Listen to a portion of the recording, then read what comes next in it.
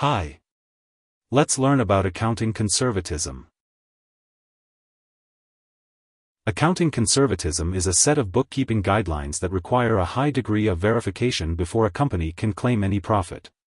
It aims to factor in the worst-case scenario of a firm's financial future. Uncertain liabilities are recognized as soon as they are discovered, while revenues can only be recorded when they are assured of being received. Accounting conservatism is a method that provides guidance when uncertainty and the need for estimation arise. It establishes the rules when deciding between two financial reporting alternatives, with the one that yields inferior numbers being selected. This approach presents the company in a worst-case scenario, intentionally reporting assets and revenue at potentially understated figures and overstating liabilities and expenses. Accounting conservatism is most stringent in relation to revenue reporting, requiring that revenues are reported in the same period as related expenses were incurred. All information in a transaction must be realizable to be recorded, with the dollar amount needing to be known to be reported.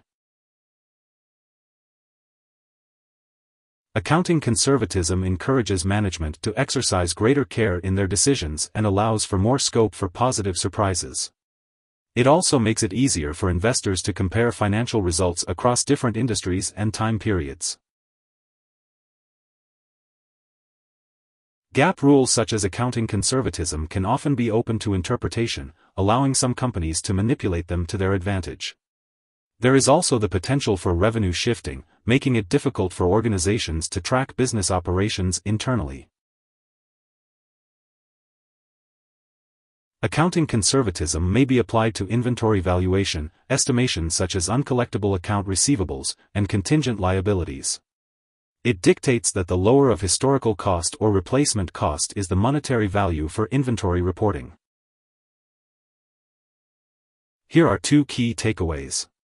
1. Accounting conservatism requires caution and verification in company accounts. 2. Gains can only be registered when they are fully realized. Hope this would help, thanks for watching.